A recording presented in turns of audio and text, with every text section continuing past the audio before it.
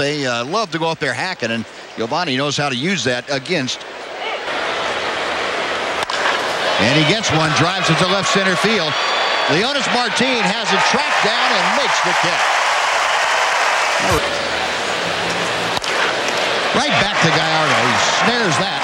Quick as a cat reactions, and that'll do it. Four to two. Calls strike three. Guerrero caught window shopping and Got him swinging. Good pitch down and away. Gallardo. Gallo cuts it off. Long throw is high and pulls Moreland off the bag. In the field. But you just I just knew the first game.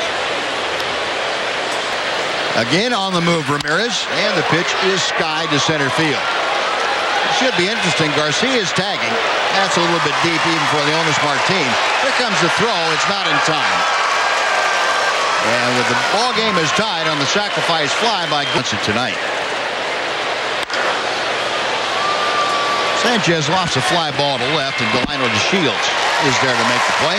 That'll do it, but the White Sox come back to tie the ball. Burroughs came up to me and he said, hey, hang in there. What do you mean? Oh, the stats don't count. What are you talking about?